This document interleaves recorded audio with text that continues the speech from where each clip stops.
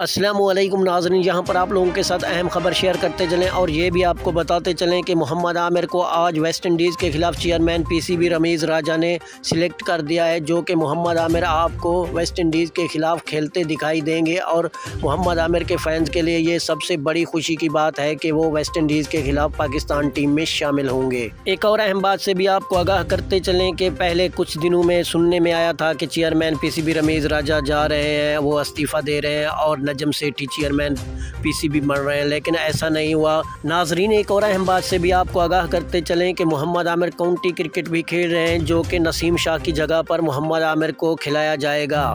दोस्तों ये जो हम आप लोगों के साथ न्यूज़ शेयर कर रहे हैं आज चेयरमैन पीसीबी रमेश राजा ने कॉन्फ्रेंस करते हुए कहा कि मोहम्मद आमिर वेस्ट इंडीज़ के खिलाफ भी टीम में खेलेंगे और जो बाद में होगा वो भी होगा और मोहम्मद आमिर को पाकिस्तान इंटरनेशनल टीम में अब पक्की जगह मिल गई है बस अब मोहम्मद आमिर के फैंस खुश हो जाएं और चंद दिनों की दूरी पर